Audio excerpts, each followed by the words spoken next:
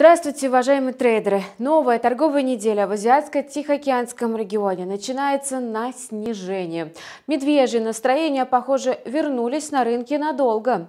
В пятницу отчет о занятости в Соединенных Штатах показал рост выше прогнозов и снижение безработицы в стране. В результате американские фондовые рынки вернулись к самым низким уровням за последние два года. В азиатскую сессию фьючерсы США торгуются снова на понижение, а мы давайте посмотрим, посмотрим, что сейчас происходит на валютном рынке.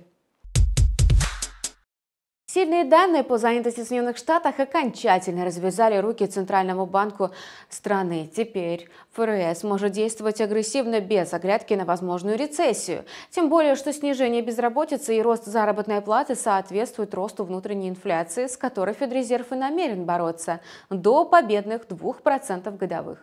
И если большинство инвесторов устал, э, возвращаются к ожиданиям ужесточения ставки, то небольшая их часть еще дает некоторые шанс на возможную паузу со стороны Центробанка США. Видимо, определенные надежды рынком дал управляющий ФРС Кристофер Уоллер. Он допустил, что регулятор может замедлиться, если предстоящие октябрьские данные окажутся мягче ожидаемых.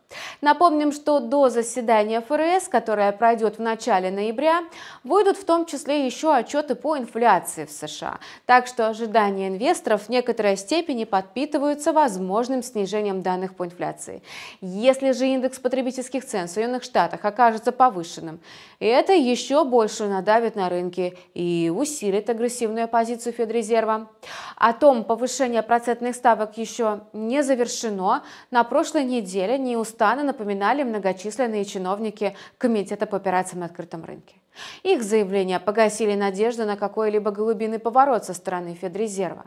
А после выхода так называемых нон-фармов, данных по занятости, Согласно инструменту FedWatch, 90% трейдеров посчитали вероятным следующее повышение ставки на 75 базисных пунктов.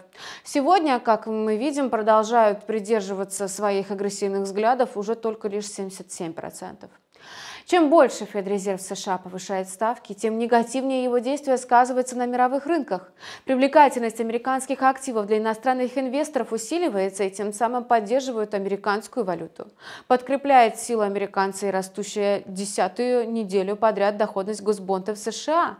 На фоне опасений глобальной рецессии и обострения геополитической напряженности государственный долг по-прежнему пользуется спросом как безопасное убежище.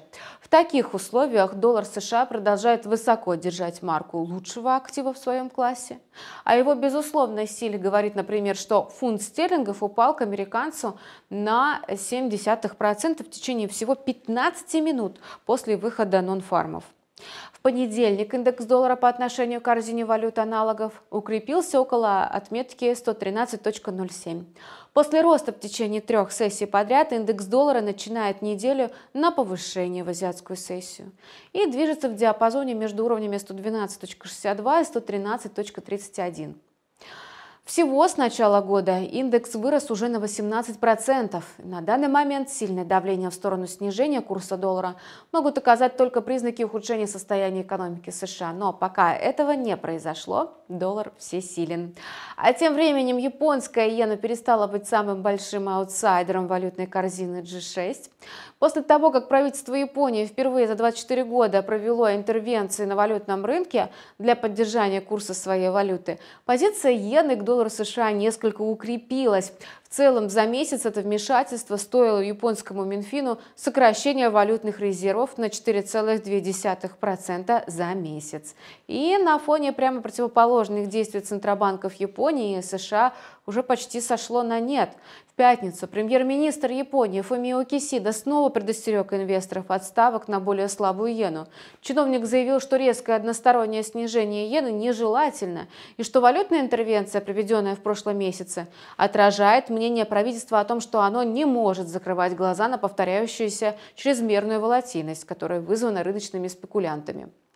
Иена, тем не менее, снова начинает неделю в области опасной психологической черты у отметки 145 йен за доллар и торгуется в азиатскую сессию уже у отметки 145.43. Причем курс пары продолжает угрожающе расти в ценовом диапазоне между уровнями 145.21 и 145.67. Однако на момент подготовки этого материала никаких интервенций или хотя бы заявлений от финансовых властей Японии пока не последовало.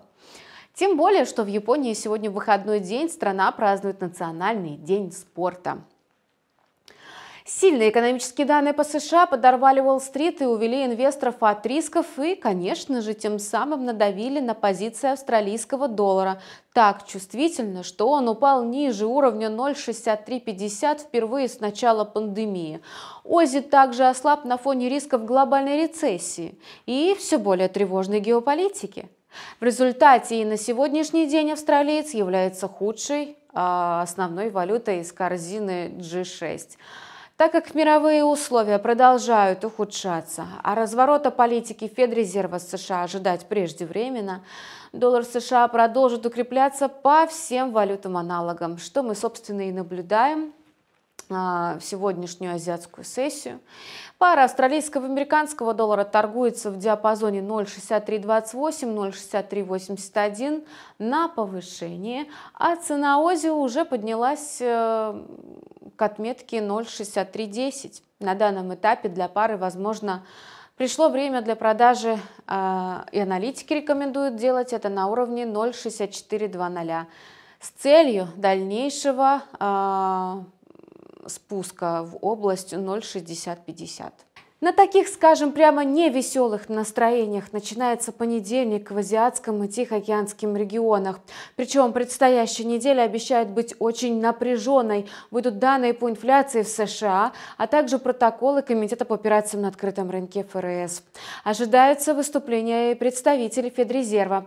Кроме того, начинается сезон отчетности о прибылях за третий квартал. Не упускайте важные для вашей торговли новости. Подключайтесь э, на наш канал и э, следите за событиями на финансовых рынках. До следующей встречи уже через несколько часов.